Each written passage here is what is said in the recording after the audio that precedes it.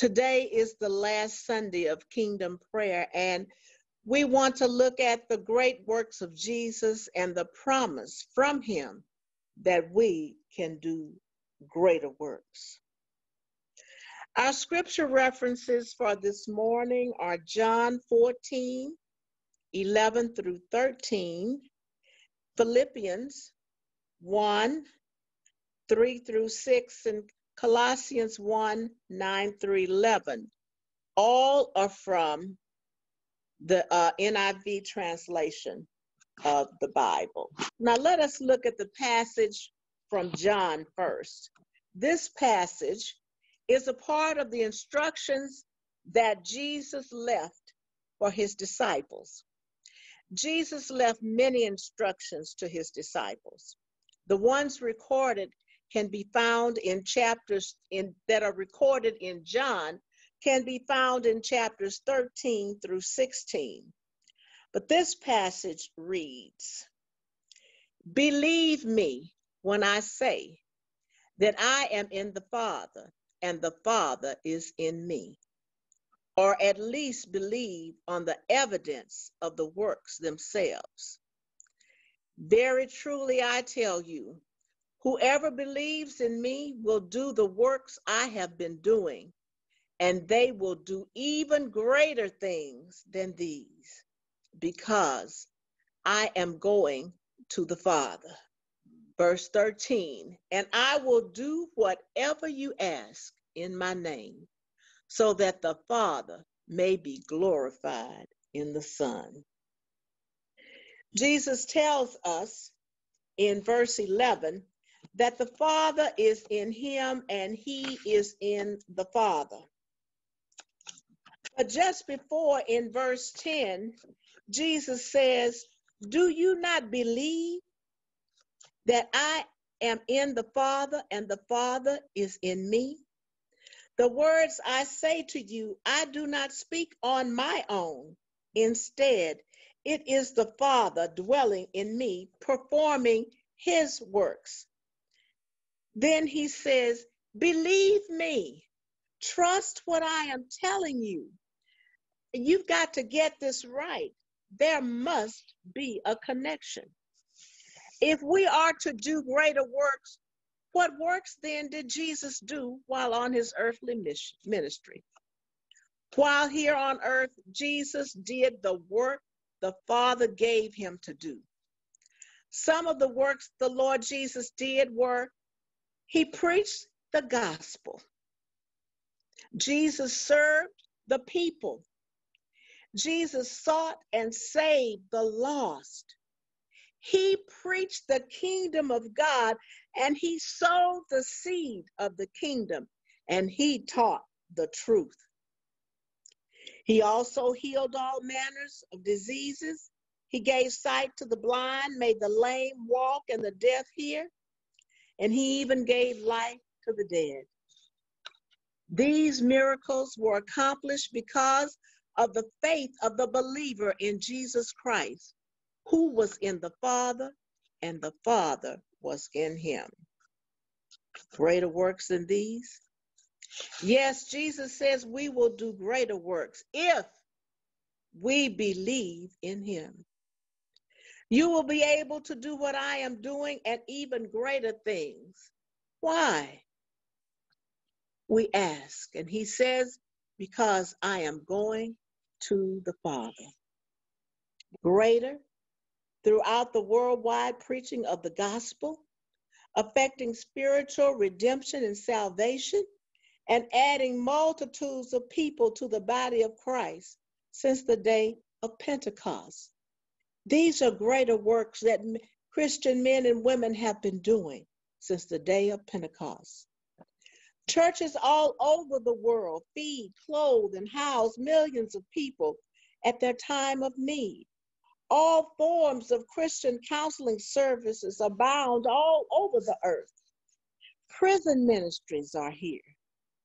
And just as Paul and Silas gave salvation to the jailer, when he asked, What must I do? Prison ministries abound. Jesus did not come just to heal and feed the people, He came to care for and to serve them. He gave himself up for us. We must preach and teach the kingdom of God on earth as it is in heaven. Jesus did. Jesus sowed seeds of the kingdom. When we believe and receive the word, we become the seeds of life. And wherever we go, we are sowing the seeds of the kingdom. Jesus always spoke the truth, and so should we. He did not speak the truth as other teachers had. He taught and spoke with authority. He spoke the truth about the gospel, about salvation and forgiveness of sins, and about the kingdom of God. And when we speak the truth, we must speak with the authority of that Jesus gave us and speak boldly. Thus says the Lord. We cannot accomplish anything unless we are connected. If we walk into a dark room and try to turn on a lamp and the lamp is not plugged into the electric socket, the light will not come on. The source is there, the electric socket, but the lamp is not connected. Plug the lamp into the source of power and then turn it on. The room will be illuminated. The same with us.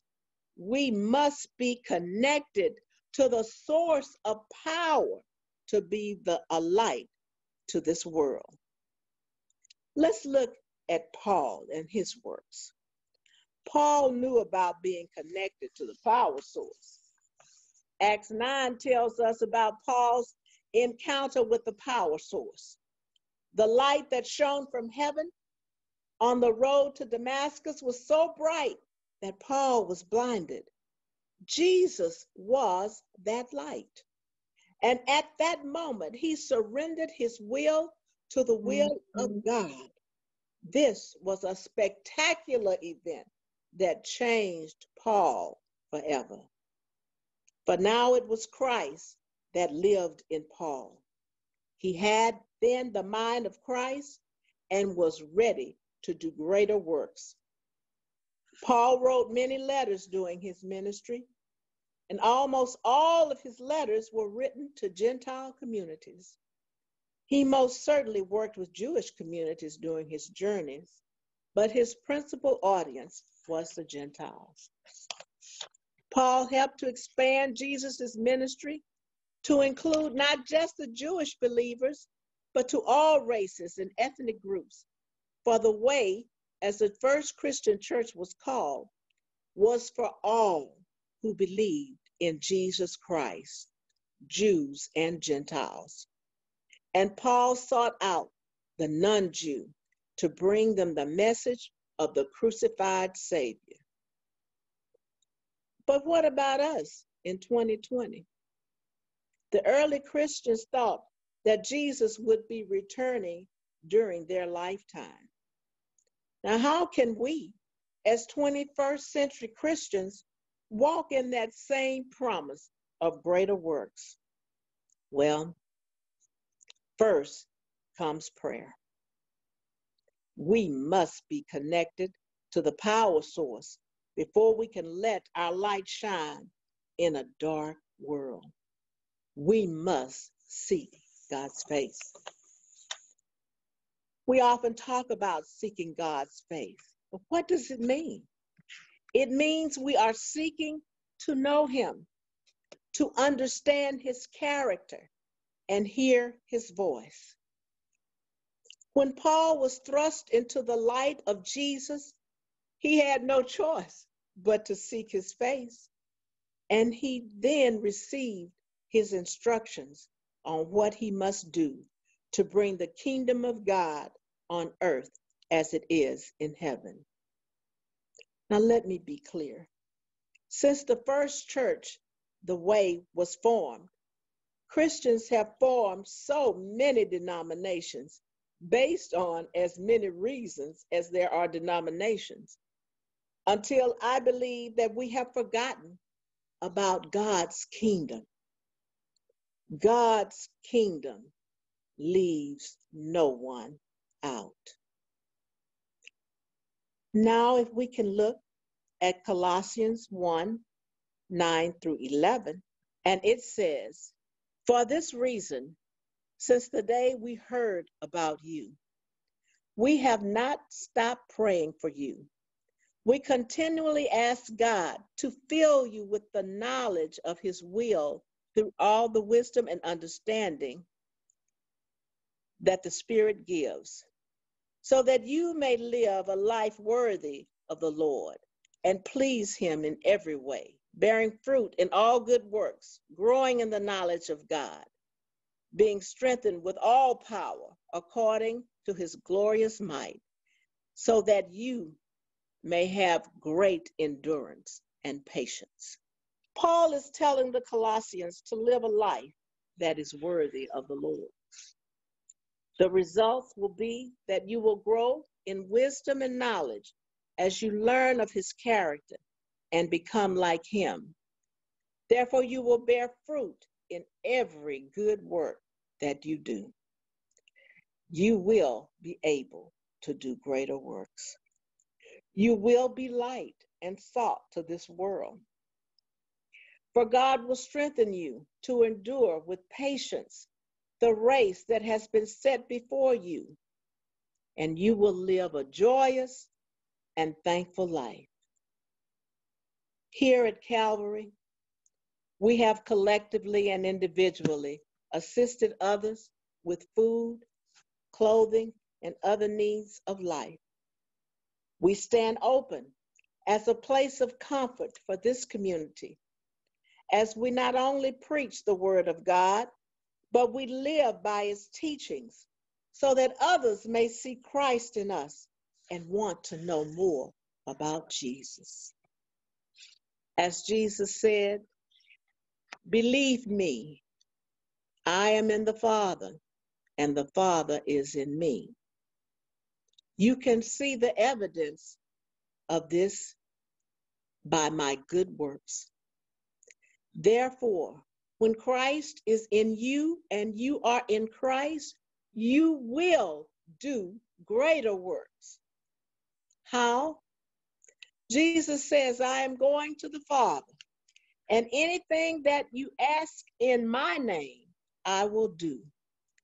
I will do it so that the Father can be glorified in the Son, because the Father is in me and I am in the Father. So if the Father is glorified through the Son, and the Son is in you, and you are in the Son, your works will glorify the Father who is in heaven. Asking for what you want in Jesus' name. It's not just something that you tack on to your prayers as a command to God to give you what you want. No, it's not.